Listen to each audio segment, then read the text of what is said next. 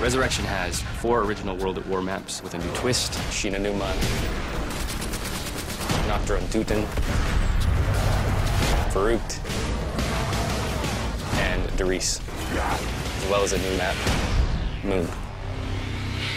If you bought the collector's edition, you're going to get Moon for free. If you didn't get the collector's edition, you're going to get these remastered maps and you're going to get Moon. This pack is really for the zombie fan, sort of our season finale, really. Back when we started, we wanted to make sure that we were always escalating from there, that everything got a fresh look and a fresh way to play at every map that we came out with. I realized if we're going to shoot people up into the air with water, we're going to need something bigger than that. And what's bigger than that but floating? So we kind of started working on the idea of going to the moon. The team really wanted to create with Moon the ultimate zombies playground.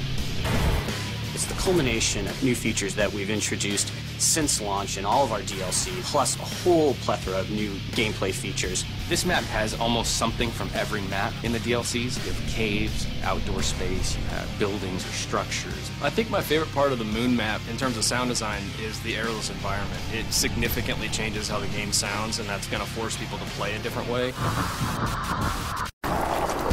We thought originally that it would make it easier, that things would slow down and you'd have time to shoot zombies, and actually quite the opposite is true because everybody's floating. You have no control, so you kind of sail past your intended turning point, which is really challenging.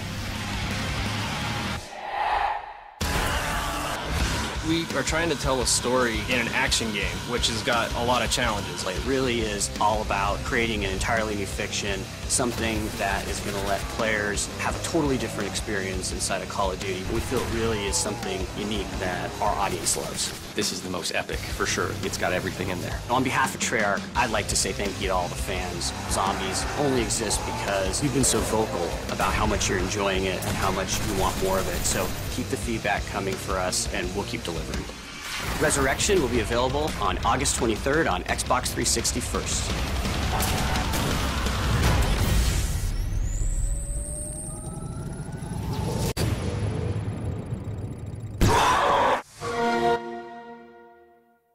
Get five all new maps first on Xbox Live.